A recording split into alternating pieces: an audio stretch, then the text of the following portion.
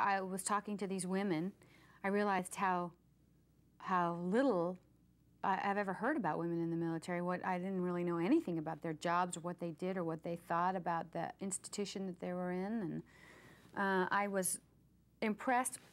Like I realized when I was talking to them how how ignored they'd been by the women's movement. How they're in a, in America they're thought of this in this sort of right wing bastion, you know, and that the women's movement has ignored them for a long time. They've made a lot of their strides by, by themselves, you know, within, within a very entrenched institution.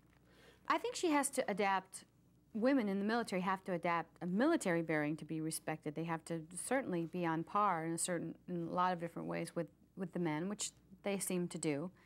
Um, and I, but I think that when you learn about the kind of hero she is, it's all about how she's really a really really deeply human in that situation that, that a lot of things are going on that yes she is brave and yes she is fearless and um, concerned about everybody's well-being but also she's she is afraid and she's really confused and she's all those things that a human being would be in that situation not necessarily just a woman.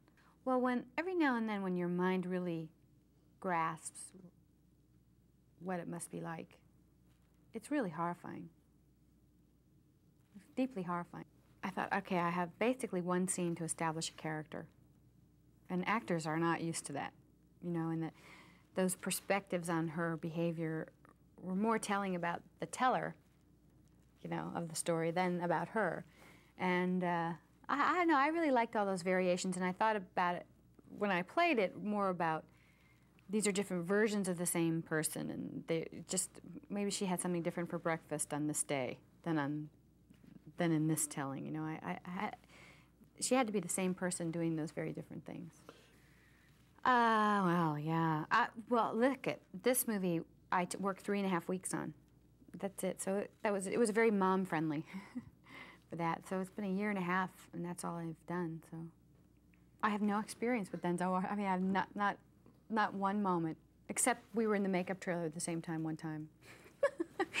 but, you know, almost none. He's adorable, though. And on this press junket, I've been having lunch with him, and he's very charming, really funny. And uh, he, yeah, he's a real kick.